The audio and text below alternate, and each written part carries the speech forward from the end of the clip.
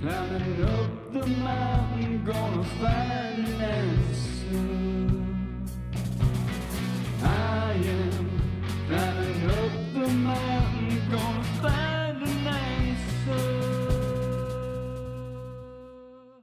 So we got Diamond Dave, legit hippie figure Well, here. let's see. I'm still young.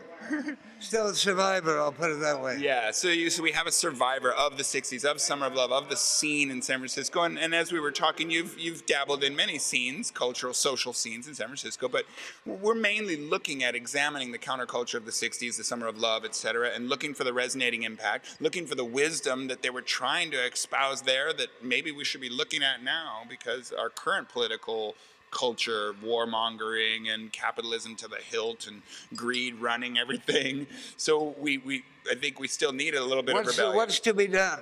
What's to be done? Yeah. And what's to be done usually, uh, I'm, I'm, I'm 79, soon to be 80, born on November 12, 1937. So you're right. I, uh, I first got here in 1957, and soon right up here in North Beach. I think you walked, that's not far where I, this isn't far where I started out, North Beach, because that's where we were. What Haight Street was to that summer, that summer of love, North Beach was to the beach. right in the 50s beforehand, early 60s. I'm talking about 1957. Right. Is when I came in. Okay. And of course, and uh, soon I uh, we were a much smaller group of people. A lot of people were highly educated, coming from graduate school. Other people like Kerouac and Cassady uh, were from their own. Kerouac and Cassady back then, I, I used to see them every weekend because they'd come up. Uh, they were working on the railway, and they'd come up. We'd be at the place. It was called. I'd love to take people on a little tour of the place.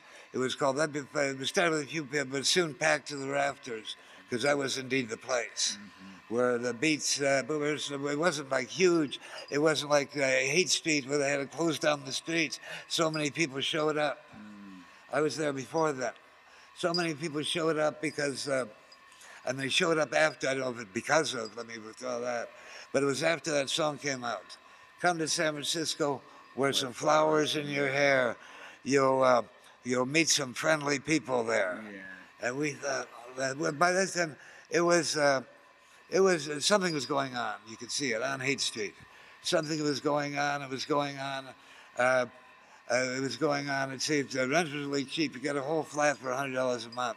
In fact, there was a lot of empty buildings, and I came from a lot of empty uh, flats, apartments. They were flats with a number of rooms. Uh, I'm there in my mind, and I came. I hitchhiked in with uh, with my mother's, uh, with the mother of my children. My oldest son is 51, and she was a black woman. So we were, uh, we were uh, uh, certainly one of the first biracial couples to hitchhike across the country from New York City, Greenwich Village to San Francisco. and you got rides the whole way. We got rides. In fact, uh, we got rides the whole way. Uh, we made it, and in fact, I remember. Uh, I think it was in New Mexico. We were in '66. Feels like New Mexico. This whole uh, TV team shows up, and they jumped out and they said, "Are you guys freedom riders? Are you making a, uh, a statement of some sort?" And I, well, I hadn't thought of that way, of course. So of course I was ready to speak, and yeah, in a way we are. And I realized, and we got, we made it. We made. it. I remember one time. Uh, well, there's so many memories. It could be a book. My, one time, for some reason, uh, Beverly said, "Let's." Uh, it was a night it fall was falling, and said, "We better get off the road." And so we went, and it was in the desert. So I think it was New Mexico. But we went uh, uh, behind this tree. A tree. It might have been a cactus in my mind. And uh, this, these two cars pulled up right where we had been, where we had been earlier. We hadn't gotten a ride, and pulled up. And these bunch of guys came up. Where are they? Where are they? And so on. And I realized that they met us no good. It seemed like they met us no good. And if there's going to be a party, we were going to be the party. but the spirit told. But then uh, we, uh, we- and, uh, as soon as the dawn broke, we got out again.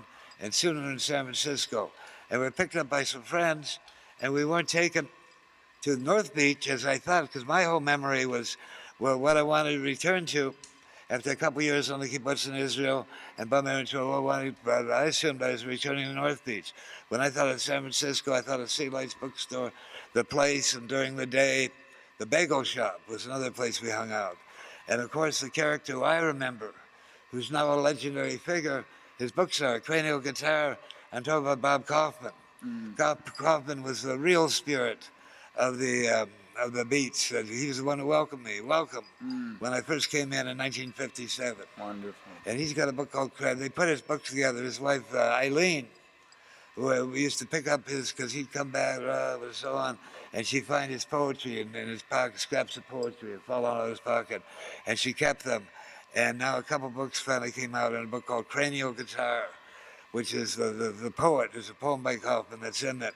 And really, I recommend that to everybody. Bob Kaufman, Beat Generation. You can talk about your Ginsbergs. there. I knew Kerouac too, and Cassady. Cassady used to come, they used to come together, and they were, in my mind, they were working on the railway, Southern Pacific, as conductors. And they'd come, and they'd be wearing their conductor's uniform. Uh, they lived in La Honda, was it La Honda? or- La Honda, yeah. Maybe. Uh, Ken Kesey lived in Honda, excuse Right. me. And anyway, they come up North Beach for the weekend, and they'd be there, Kerouac and Cassady. And uh, uh, and Cassady would be carrying a shopping bag, and in his shopping bag would be a kilo of marijuana.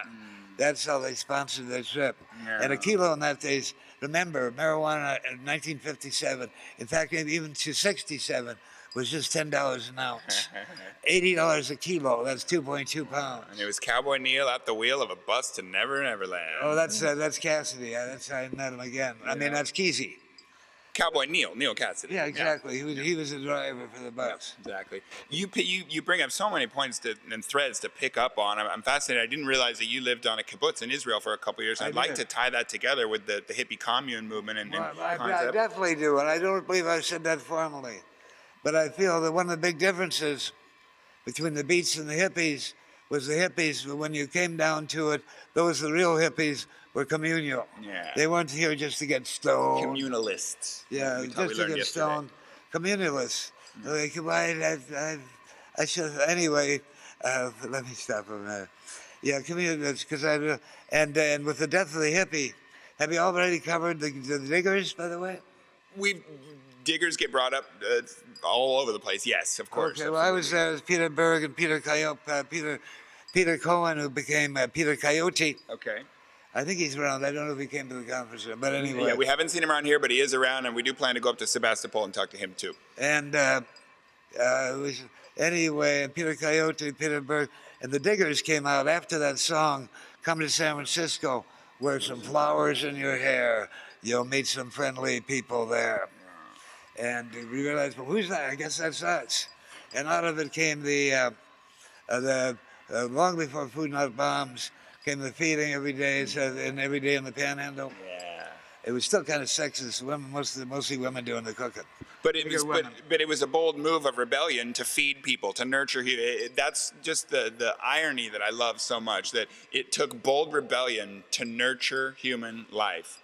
Yeah, Wow. And you can look at uh, if you wanted to figure uh, the, a lot of the there's diggers diggers.org I think, and uh, you'll see that a lot of the digger papers so online. Uh, brother, I forget his name, put it online because we had the digger papers. They were like the ma- manifestos. Uh, uh, we should manifesto. This is the sexist thing that we're still struggling. Humanifestos, and. But digger women were definitely, there wouldn't have been diggers without the digger women for sure. okay. And uh, so you had, so when we talk about the posters, when we talk about the shows at the Avalon and so on, remember there's all people were being being fed, were being fed in the Panhandle, and also you saw saw the bo- of the Free Store, The free story. the Free Store, and it started as a garage on on Page Street called the Free Frame of Reference. And somebody, somebody built a, a big picture frame, and you step through it to get in, because all these people were coming to San Francisco to wear some flowers in the hair. Pretty much all they knew about was getting stoned, really, and uh, getting stoned, really. And uh, uh, anyway, but uh, but the difference, the free store, and the idea of the free store, and and uh, of course by this time, the hippies had been named by Herb Caen, the same guy who named uh, the Beatniks, named those Beatniks. Herb Caen, he was a columnist in the in the Chronicle then. Right. What's called a three-dot columnist. He come up with a and he called it the Beats, the beat, the Beatniks, the Beatniks. The time of Sputnik, so Beatnik, Oh, Sputnik, right. the Beatniks in North Beach. Yeah. And then when uh, he had the cold side of hate, and that was. Really, uh, he coined the, the term. I, if I have it right, I'm safe from my own um, hipstery. Uh, I call it hipstery. Uh, uh, he also named the uh, uh, also named the, the hippies. And after the hippies, uh, uh, in the 70s, it was the one time when we named ourselves between the hippies and the punks. We called ourselves freaks, and that that was self-named. Yeah. Okay. That was self-named. The people who stuck around in the 70s, uh, because of course, talking about communards, out with the death of the hippie, that was a parade that was held with a casket. There was one bed, bed where people threw their threw their necklaces, their roach clips, and we had roach clips, roach clips in, and it was the death of the hippie because Haight Street had gotten beat way too much. Right. October 6, 1967, death of the hippie march. Okay, so, and out of it came uh, freaks. So it went down, and we're gonna you're gonna be speaking to somebody who's talking about the co- connection between the Black Power movement and the hippies. Right. I'm waiting to talk to her because I was there too. I was still here. Yeah. My wife is black. My children, I have seven mixed children Okay. in the Fillmore. So I was totally involved there. And then on KPOO, uh, I was given a talk show on KPOO. And uh, uh, all of these, all of these are subjects for uh, hipstery. Yeah. I mean, you, yeah. you, you could write the book, Dave. well, I don't know. Well, you read the book, history, well, you read that in the books. Yeah. Her story, her story comes out of the women's movement of the 70s. Her story, they realized it was all his story. Right. So we got to tell And we her. got some her story too. Yeah, and But what, I, what I'm doing is I call hipstery, which is uh, these underground connections. Uh, a little bit. I mean, this guy's written a book about punk rock. He talking to me, said, said, yeah, we were talking about punk rock. Uh, we just happened to mention RKL, uh, Rich Kids and LSD, and Christ on Parade. They come, would come to me, and also they opened the door to. Uh, to the to the next just after that kind of they were like second generation, but opened the door. This out of uh, out of the out of the East Bay came came crashing uh, the ska Operation Ivy, Right. Operation, Which became Rancid. which came Rancid, kind of a joke band. I've actually I remember seeing them on uh, Saturday Night Live, Rancid, and uh, they're, they're totally full of humor. It's like a joke about punk rock kind of joke.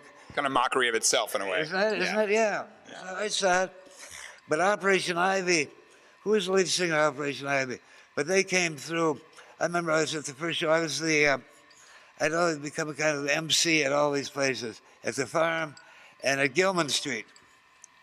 And I met, so it's like MC at Gilman. Gilman was a cooperative, a collective, uh, loosely connected with the magazine Maximum. Uh, Tim Yohannan, Maximum Rock and Roll. Max- Maximum, uh, but a little loose in that. But anyway, because he, uh, he, he had his idea of who was in and who was out. And with Tim- Tim Yohannan. He and I'd see each other, and we knew each other, but we only, he was connected to the, his, his idea of revolution was the RCP, the Revolutionary Communist Party. And I remember when he declared, uh, when he declared up, uh, when he declared, uh, uh, when he declared, wait, we'll come back in a sec. When he could declare a bunch of skinhead Nazis and they weren't, and I got up and I got a. It's going to come in second. Uh, from New York City. They were uh, they were down. They were badass. They were in New York. I'm talking about. Uh, Agnostic Front. I'm talking about Agnostic Front, of course. Yay, ding, ding, ding, ding. So Punk they- trivia for hundred, Dave. they took a they took a they came here and it was a big show. Uh, uh, Toxic Reason played with them Yeah. right over here and uh, right over here on. Uh, uh, anyway, I think it was- Broadway. No, down here. That was down here. It was kind of like a. They didn't dare to have them on Broadway. There was going to be too bad. Uh, I'll think about. It. Anyway, it was down here, and so everybody gathered. Big New York hardcore show. Oh my goodness! And because uh, Tim Yohannan had declared them as a bunch of uh, racist Nazi, and I knew they weren't. Oh, they all. weren't at all. No. In fact, our lead singer uh, Vinny was a Mexican, little Mexican. Vinny guy. Stigma. Fuck yeah! How do we know all this, brother? I'm a punk, man. yeah, but you weren't there. You were six years old or so then. I was born in 71, 86. I was a 15 year old punk. yeah, this is '71. This is when, uh, uh, this is time when, uh, when Bob Dylan had said, "The music of the cafe at night and revolution in the air," and he wasn't talking about punk rock, or was he? It's hard to tell about Dylan then, because uh, because by this time he was getting hard for him just to walk out and be among the people. That's for sure. Yeah, that was more or less behind him, even by 70. That's sad. But anyway, uh, that's when Bowen Bags. I'm sta- Oh, Sound of Music was the place. You ever hear that one? No. No, that was like uh, Uh, maybe, bad. It was right here on the worst, the worst street of the Tenderloin. Okay. Uh, right down, right. Sound of music. I guess I've seen on fly old flyers. Yeah, Sound of Music, and uh, that's for Toxic Reason, out of Indianapolis, and uh, I thought it was kind of we were talking about the summer of love. Yeah, we were talking about your love. Well, here's the thing. Uh, one more, um, you know, through line I want to draw, a connection I want to make with you, because you were talking about the Beats, and you were there. You were here in '57, so you really saw the passing of the torch from the Beats to the hippies to the Flower Children. What, Flower what did, what, And what, punks. what, Fuck yeah. What did the '60s movement, the, the people in the '60s movement, what did they take from the Beats? What were the ideals, values, or cultural, artistic style? What, what did they get from the Beats? What well, was well, transferred? just off the top of my head, I was uh, out of the communards, uh, out of the communards. And remember, we're talking about the communes. We're talking about the death of the hippie.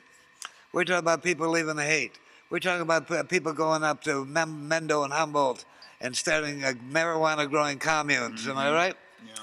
And this was a time when it was illegal, a time in which they had the the helicopters go over. You have your six foot plan, helicopters go over. You'd be dragged off in handcuffs. Your plants would be cut down. They're six feet high. You've been doing all you. Some of you these motherfucking helicopters, motherfucking helicopters. And so people got pretty badass. People kept on going. They weren't going to stop. Also, we had the politics. We had uh, the politics. We had uh, more formal Marxist, like Revolutionary Communist Party and the Weather Underground and so on. But a lot of people were affected by it without necessarily joining up and saying, I'm a Marxist, Leninist, Maoist. Although Maoist, the Maoist politics definitely affected. But I think with the, with the idea of going from beatniks to hippies to freaks and then punks, and then like NBC News and Cops, uh, the Dicks, and coming up, and the politics of that, which was hardcore, revolutionary, and we we came out of the communes, where of course the squat, where we, they, we didn't talk about communes back in the punk rock days, but if you're a true punk rocker, you lived in the squats. Yeah, the vats. The vats. beer vats. I was at the Vats. Yeah. I was at the Vats. Yeah, and RKL spent time at the vats. DRI, MDC, they all lived at the vats. Well, how do you know all that? But anyway, you're right. You're the perfect person for me to. Who would have think? See what the spirit does? It brings us together. You're the spirit person, perfect spirit person to to keep me going here. Cool, man. I'm glad I could inspire you, the- Dave. the best. I do a radio show myself on Right. on uh, my Mutiny Radio every Friday, and the the idea of turning an interview into a conversation is just this: you have to know something about what the, what you're the person. You'll hear a lot of interviewers that they don't know shit, Yeah. but they but they ask questions. Well, I'm happy to jump on there with you. You invited me before when we were campaigning for Bernie together, and we didn't quite, I didn't get it together. But uh, maybe we should just do that. and Go ahead and have a chat on the air. But yeah, let's do this every Friday, Mm-hmm. uh, three to six. I came. One of the reasons I came here was to invite people to come down. They can call in, or come down. There you go. uh, yeah, yesterday we had calling in his brother. I think his name is Montgomery, and he's got this art show over at the Haight Street Art uh, Art Gallery. I'm going to go tomorrow. He's going to be opening. I'm hoping people from here, I think, will come here. My co-host Val wrote this. Uh, yeah, Haight Street Art Center, 215 Haight Street. Scott Montgomery. Do you know who he is? right, they're doing the exhibition over there. Yeah, Yeah. Well, he's going to be there all day tomorrow. I'm going to go tomorrow. Good, okay. And that used to be uh, during this time that we're talking about the punk rock time. That was the uh, that was the UC Extension Center. There, all those buildings. It was gone through the head, so that's where it is now. So everything is connected. Once you see it that way, and that's what I call hipstery. Brother, everything is connected, and we love your hipstery, and we so appreciate you sharing it with us. And, you know, we always love to wrap with a hug, brother. And, and what uh, what uh, Yeah. And what came out of it when when I think at 79. Okay. At 79, um, I was thinking, I should, just before I turned 79 years old. So I said, soon to be 80 years old, blah, blah, old man now, all over, fuck, it's all my life's behind me. And then the Spirit speaks to me. And uh, we're going to, this to be a continu- Spirit speaks to me, and here's what she said Learn to love, love to learn, this never ends. And I said, that's it. That's right. That's what life is about. Learn to love, love to learn. This never ends. Let me give you four lines that came from the Spirit, which when I heard this, I said, that's how I roll. That's how to roll. It's these four lines. Cast a wide net. Find the common thread. Let life flourish. And then don't panic. Just keep it organic. So that's what we're doing, brother. We're finding the common thread. The common thread, the beats, the hippies, the freaks, and the punks. And where are we now? With, with Trump? Well, time will tell. I hear about the building of the resistance. I'm trying to be, uh, uh, we're a voice of that, we hope. The building of the resistance. We have uh, people coming together. And I realize that there's people, and I can see wherever I go, I can see there's somebody or a few people who are beginning, I, I call it intelligent people, but that's not, but people are aware that something's going on and we be- better get together. Mm-hmm. And Bernie, Bernie, who's almost as old as I am, Yeah. he's 75, Yeah. and Bernie picked that up and carried it along, and we'll see what, what emerges. Yeah, when, what goes next? Now, another thing that came to me, and some other words that came to me, this is a few years ago. When I was coming out of the Rainbow Gathering, that year we were 9,500 feet high in the Rockies. And it's coming down, and it's the people, of the old rainbows, oh, it's going to be terrible, blah, blah, blah, we're too old, we can't. But I said it was a beautiful gathering. And I said, what is it, why is it? And it's been since since. And then the, these words came to me. Goddesses galore, goddesses, goddesses galore, sisters glorious. That's goddesses galore, sisters glorious. And I realized now it's time for the women stepping up. I see women are stepping up everywhere. And it's time for the dudes, dudes to step back a bit. A lot of them mm-hmm. don't even realize it. Back in the 80s, you know, in punk rock, uh, back in the 80s, it was a lady, it was a, women really stepped up. It was called Riot Girls. Heard of Riot Girls? The Riot Girls, of course. And then, well, of course, these two big guys. uh, There, uh, there was Big- Bikini Kill Yeah. and the Gits, The Gits, yeah. Riot Girls. And then Mia Zapata, she Mia was Zapata. murdered.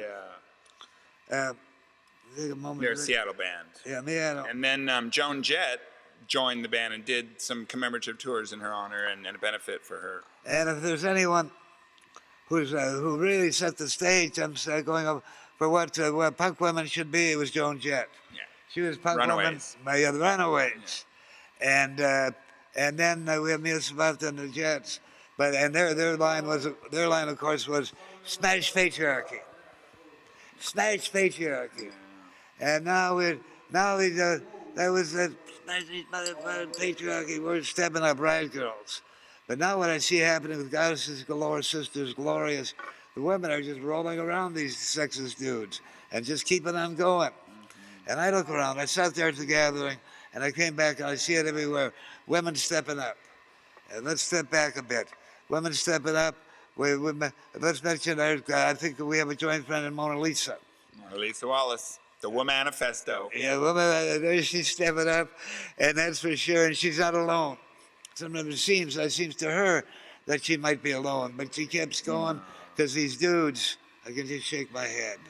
But the good words I want to say to this is goddesses galore, sisters glorious. We're about the same too. Bernie has done what he's done. He's, and I'm waiting for women. Women are going to be stepping up and taking this movement. Uh, all, uh, all this movement with Trump and his motherfuckers. I see women stepping up. Look at Rachel, Rachel Ma- Maddow. Is it Rachel Maddow? From CNBC. You ever see her? Uh, MS, excuse me, from MSNBC. Did you ever yeah, see I've her? seen her. Mhm. Oh my goodness, she's so very sharp. I wonder. I worry because we got this. Uh, I really worry. Think about it. Yeah, it's something suggest. If you want to see it, CMC, uh, women stepping up. Rachel Maddow, she steps up totally, and I worry because now we see this Trump Putin connection. This Trump Putin connection, and all Putin has to do, if you look at the history right over there, he just gets on the phone and somebody's shot dead. Uh, Rachel Maddow in, uh, in Russia would be a dead woman by now. So I just, but she does steps up every day. uh, What's it, at 6 o'clock? I just hear on the radio. And she just lays it out there. What's happening? Now it's every day shit is happening. So we better get together, brothers and sisters, And it's good to look back to the summer of love and see that love is what it's all about. That it's about learn to love, love to learn, the, the, learn to love, love to learn, and love will get you everywhere. Hate will get you nowhere. Well, what about Donald Trump? Well, he's. Know, I know I was speaking of the Beatles back then. Of course, I was in Haight Street back then. I was in the Haight, and then we're walking on Page Street with my crew back there about 66. And we're walking down Page Street, and we've been hearing the radio the Beatles. And uh, my friend uh, really knew music. I mean, he was with Keith Redmond. He died, and uh, he, he went to uh, he went to Tibet. I mean, he went to uh, Kathmandu. And back then, that was the thing to do was, uh, was to go to get to Kathmandu. Then you really, and he never came back, and he died there. Keith Redmond, a musical genius, a genius. He was one. Heroin was his. Uh, uh, uh, anyway, uh, but Keith, he's here in my mind, alive. But anyway, Keith said, "Listen to that," he said. Uh, these guys are special, and we hear and they're coming out of a window. It was the Beatles? We hardly knew them, and it was uh, uh, hardly knew. He said those guys are doing stuff with music that hasn't been done before. And I listened. and He said, "You're right." It was '66, I think. And then uh, I'm saying that, hey, sister, good enough. We're having a reunion, a revival. We're showing these uh, academics a thing or two. But anyway, uh, and he said, and the song I was, uh, love will get you everywhere, hate will get you nowhere. And I thought, well, what about Trump? And then I remember the Beatles song, Nowhere Man. And that was like 65, 66, the Nowhere Man.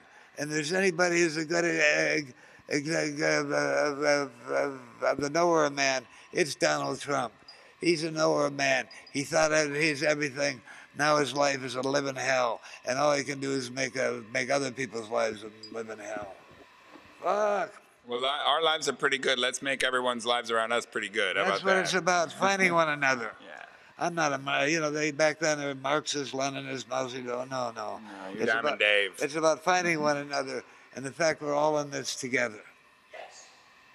We're all in this together, together, together. Thank you, brother. You got it, Well, brother. thank you. Well, it could be to be continued. Mhm, But we that's- will. yeah, any we'll talk on the air too. Any questions? You covered so much territory, If you man. I always, if you got any questions, I might have some answers. Okay, we'll follow. If you have with any answers, I might have some questions. Good. We'll follow up with you. Thank you, brother Dave. Always a pleasure. Well, fuck yeah. Okay, let's wrap with a hug, my man.